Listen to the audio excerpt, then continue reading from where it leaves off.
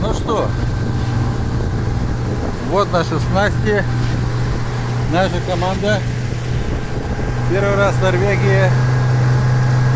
Сутки не спали, а отправились просто за жарехой. Хотели отоспаться, но, видите, ребята привезли рыбу.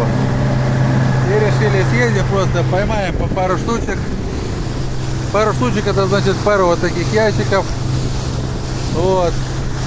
Вперед. В океан.